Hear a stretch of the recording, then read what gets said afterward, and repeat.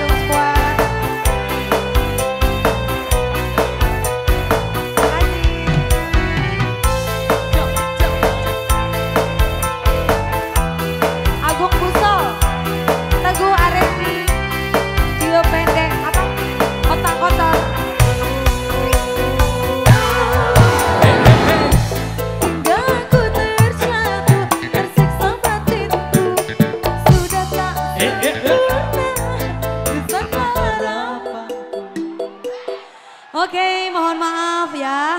Terima kasih buat keluarga besar dari Bapak Ahmad Robiul dan juga Ibu Nur Fitriani. Telah lahir ya putra ketiga bernama Muhammad Elvandra Davanka. Semoga menjadi anak yang soleh.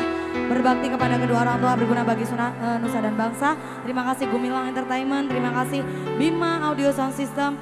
Dan mohon maaf bila saya punya salah kata. Sekian dari saya Ing Wahyu. Wassalamualaikum warahmatullahi wabarakatuh.